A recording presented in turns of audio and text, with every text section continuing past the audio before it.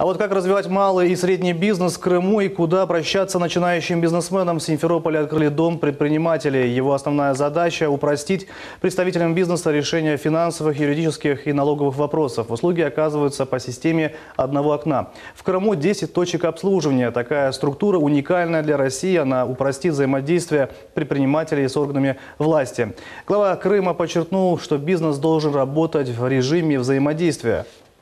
Не хватает квалифицированных специалистов, которые могли бы грамотно подсказать, какие шаги необходимо предпринять для реализации, для открытия своего дела. Хочется работать в режиме благоприятствования, а не сопротивления. Вот на мой взгляд, то есть как, бы, как раз таки этот центр должен эти вопросы решить.